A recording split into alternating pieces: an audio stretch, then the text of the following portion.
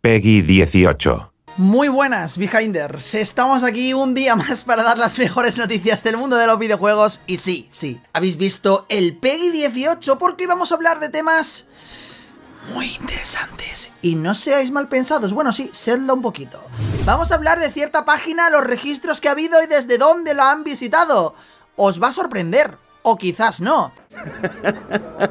Esto lo contrastaremos con temas quizás ya más interesantes como un plagio descarado de Genshin Impact a Bayonetta, sí. El nuevo personaje sería un plagio descarado y vamos a ver cuánto se parece. Y nos pondremos serios, por supuesto, en uno de los temas del vídeo porque a PlayStation, a Insomniac se le ha filtrado algo muy gordo todos sus planes de aquí a 2030, incluido un extenso gameplay de Wolverine y muchísimo más. Ojito porque esto es una de las mayores filtraciones de la industria y algo muy duro para Sony porque también se han filtrado documentos confidenciales que hablan de la competencia. Y si quieres saber todo esto y mucho más, yo te voy recomendando que te quedes en el vídeo de hoy, que vayas dejando por aquí un like bien fuerte, que te suscribas, que compartas y que actives la campanita para estar al tanto de próximos vídeos del canal porque ya te voy diciendo que este vídeo hoy va a estar muy interesante y muy calentito. Hola de nuevo y bienvenidos a Behind the Games. Agárrense que hoy vienen curvas, ¿eh?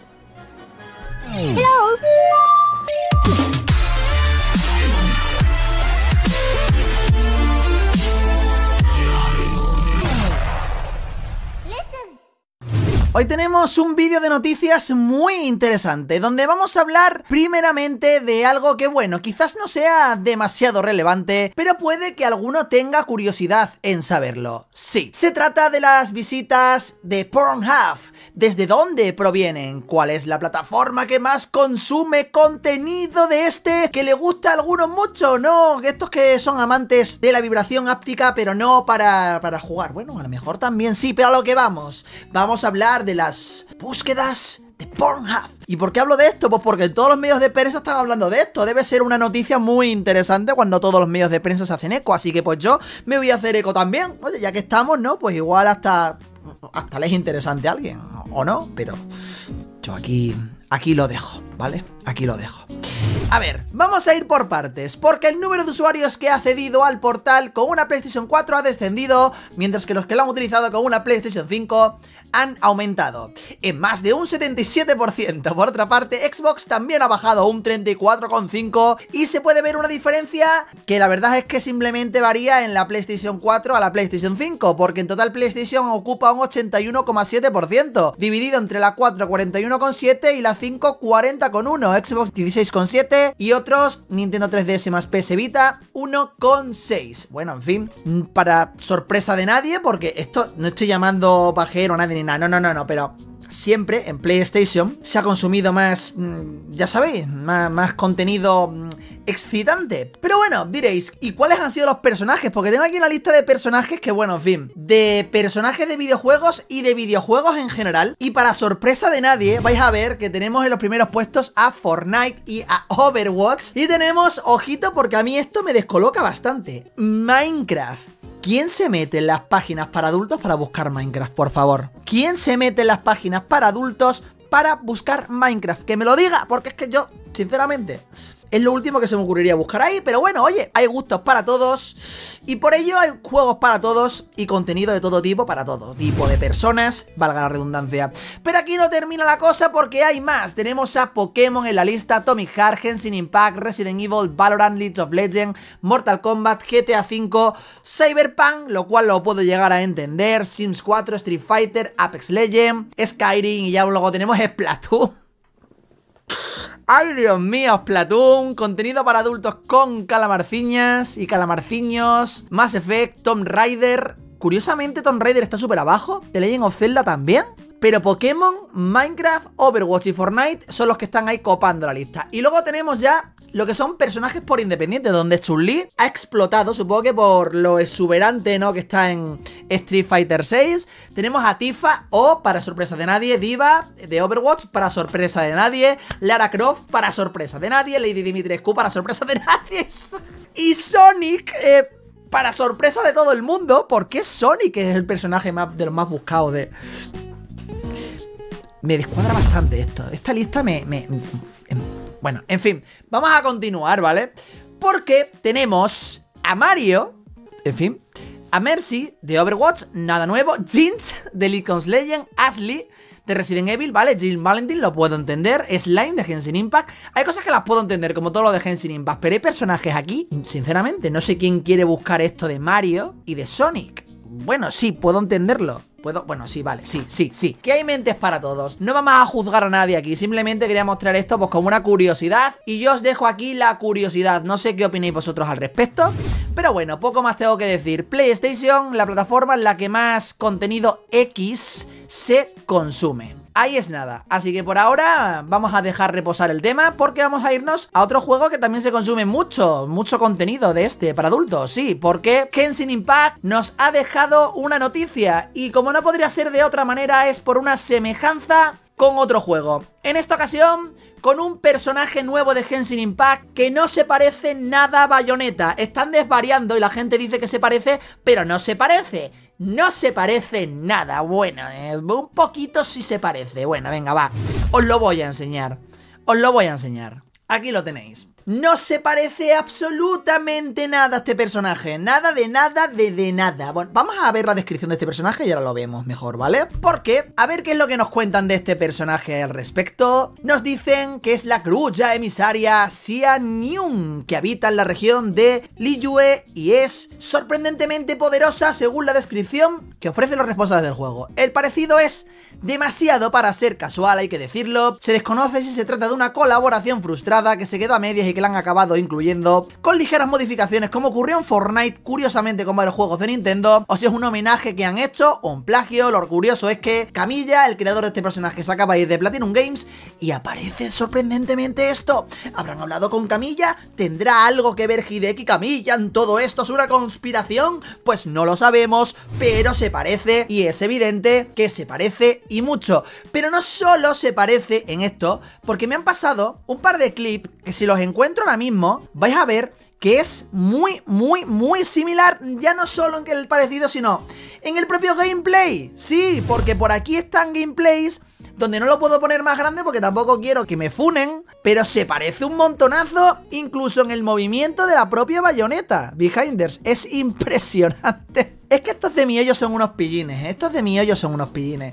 Impresionante, bueno, este personaje que para nada se parece a Bayonetta, lo tendréis pronto disponible. La comunidad está muy contenta porque parece que va a ser un personaje muy bueno. Yo simplemente veo que una vez más la falta de originalidad en el mundo de los videojuegos es flagrante. O sea, es una cosa exagerada cómo hay personajes en videojuegos que se parecen tan de manera sumamente descarada que parece que lo hayan hecho adrede. Yo de verdad no sé si lo han hecho adrede o no, pero que se parece, se parece. Eso es indudable. Y aquí dejo esta noticia. No sé vosotros qué opináis. Genshin Impact es un juego que empezó pareciéndose mucho a The Legend of Zelda Breath of the Wild. Es evidente que las inspiraciones en el apartado artístico del entorno estaban ahí, de la escalada, de la parabela, todo se hizo para parecerse, pero luego adquirió personalidad propia, pero hay que decir que es un juego que siempre ha rozado el plagio en muchos aspectos y parece ser que continúan con personajes que son sumamente parecidos y cositas que son sumamente parecidas a otras franquicias.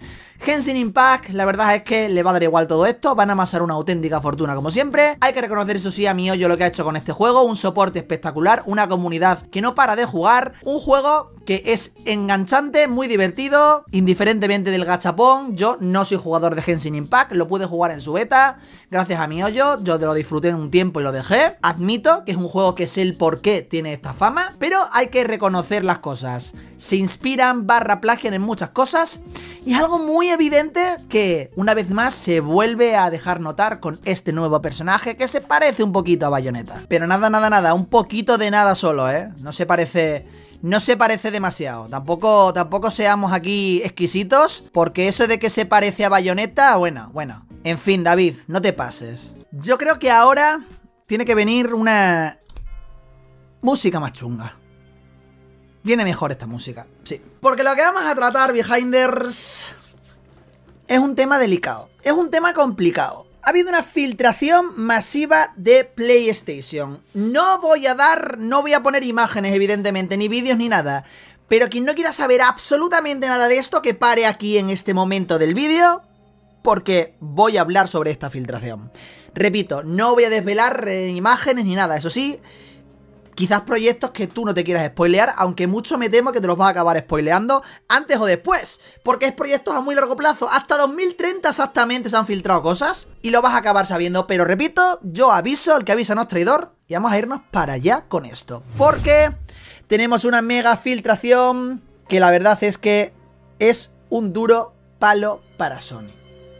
Un duro palo. A Insomniac se le han filtrado todos los proyectos. Y no solo todos los proyectos que tienen, sino también declaraciones en un documento que, en fin, hablan un poquito de la competencia del Game Pass. Duro, duro, duro todo esto que os voy a decir hoy porque es impresionante. Hay que decir, antes de entrar en materia de todo lo que se ha filtrado, que hubo una petición millonaria de unos hackers para no filtrar eh, Marvel's Wolverine, sí. Hubo una petición de los hackers en plan de que no filtrasen nada eh, si les daban dinero, pero parece ser que Sony no hizo caso. Sufrió un ataque de ransomware hace exactamente 7 días que filtró información personal de los empleados, planes de juegos futuros, descubierto por primera vez por el medio Cyber Daily, el grupo de hackers de ransomware Risida ha publicado pruebas para decir que habían hackeado a Insomniac, evidentemente hoy se han hecho reales esas pruebas. Al parecer la petición tenía 7 días como límite para entregar 2 millones de dólares y evitar así la filtración masiva, una filtración que iba a afectar mucho, no han accedido. Y evidentemente, parece ser que han ido filtrando cositas poquito a poquito. En su sitio web decían además lo siguiente. Con solo 7 días en el reloj, aproveche la oportunidad de ofertar por datos exclusivos únicos e impresionantes.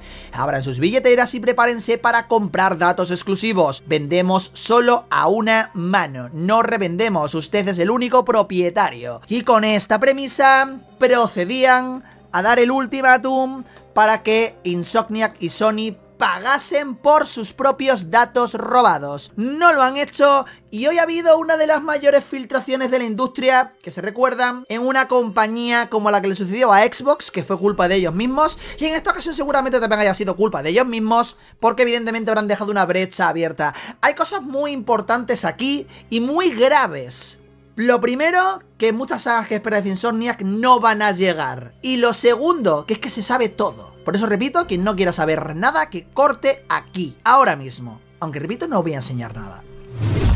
Con lo que vamos.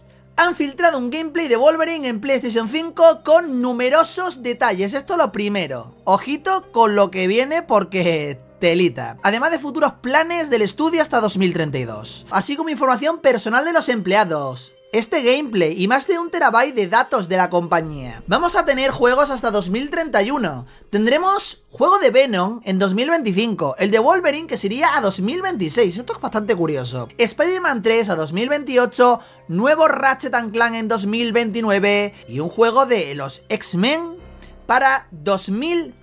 En 2030 tendríamos el último juego fechado. Según un documento de julio de 2021, Insomnia Games tiene un contrato para crear tres juegos de X-Men para 2025, 2029 y 2033 y cada uno contará con aproximadamente 120 millones de dólares. Estas filtraciones son del 18 de diciembre de 2023 y dejan a la vista vídeos, materiales en desarrollo y otras cosas que algunos no podríais creer. En la jugabilidad se ve el estilo de combate del personaje por el entorno y contra villanos. Continuamos.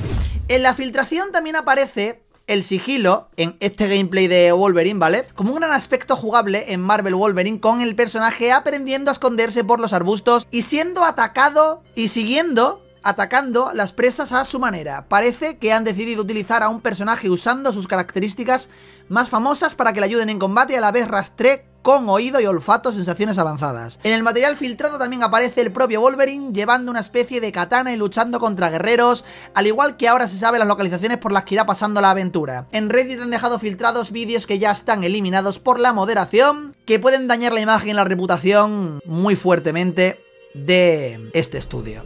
Pero lo más grave lo destaca Lance McDonald. Al parecer hay una versión para arrancar el juego, aunque requiere de un test kit de kit de PlayStation 5 hasta que alguien lo adapte a un firmware con jailbreak. Es decir, que en una consola pirateadilla esto podría ir. Esto podría básicamente, pues, poder ser jugable. Por cualquier persona. Y esto es muy grave, Behinders. Esto es muy gravísimo. Pero lo más grave todavía de toda esta filtración es que se ha filtrado un documento. Me han pasado este documento. Yo no sé si esto es verdad o no, pero esto es muy gore, esto es muy heavy.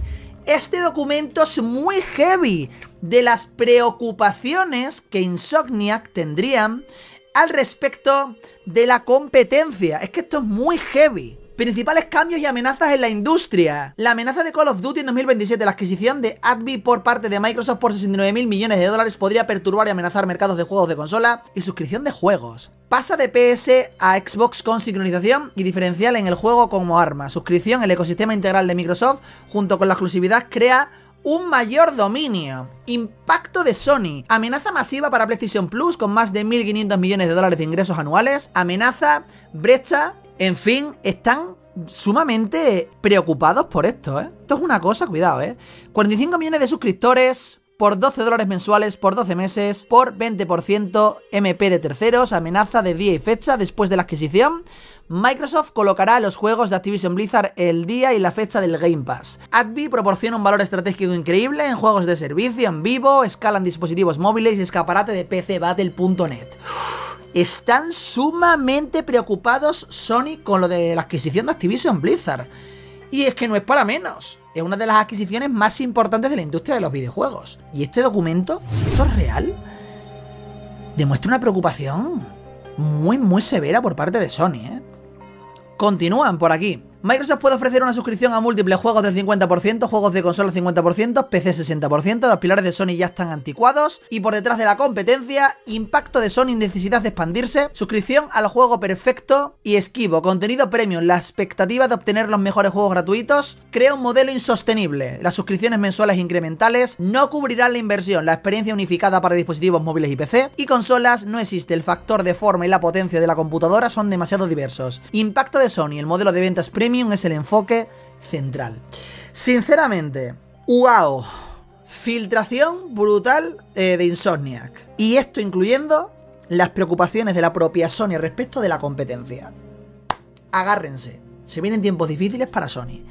Esto es una filtración muy severa, muy preocupante. Se ha destripado todas las sorpresas que, sinceramente, me hallo sumamente decepcionado que Insomniac solo vaya a hacer juegos de Marvel y que solo vaya a hacer Ratchet Clank y no vaya ni siquiera a cogerle el testigo, yo que sea Naughty 2 con el Jack and Dexter, por ejemplo, si ya no pueden, porque están con el de Last of Us, otro juego más, ¿vale? Genial, hacedlo vosotros. Nada, nada, nada, nada de nada. Sinceramente, Behinders, se vienen tiempos difíciles para Sony. Están un poco... Mmm, nerviosos. Y encima con esto que se ha filtrado, con los planes del futuro filtrados, todavía más. Déjenme aquí abajo en la cajita de comentarios lo que opinan al respecto de todo esto. Yo me despido por el día de hoy, no sé si habrá un segundo vídeo. Pero creo que con este ya nos vamos calentitos porque esto es mucha tela, hay mucha tela que cortar aquí. Es muy preocupante la situación de Sony al respecto de todo esto. Esperemos que esto no sea más que simplemente una parte de todo lo que tienen y nos puedan seguir sorprendiendo y a ver cómo Sony se las apaña para afrontar todo lo de Activision Blizzard porque se les ve francamente preocupados. Aquí dejo la información, vosotros me podéis dejar la opinión. Y un like, podéis suscribiros, compartir y activar la campanita para estar al tanto de próximos vídeos del canal. Y por supuesto también recordar que si os habéis quedado con ganas de más, por aquí tenéis otro vídeo para ver y por aquí tenéis el botoncito de suscribiros que tenéis abajo en primera línea de descripción en juegos digitales muy baratitos. Y yo os espero aquí con más y mejor en la próxima entrega de Behind the Games.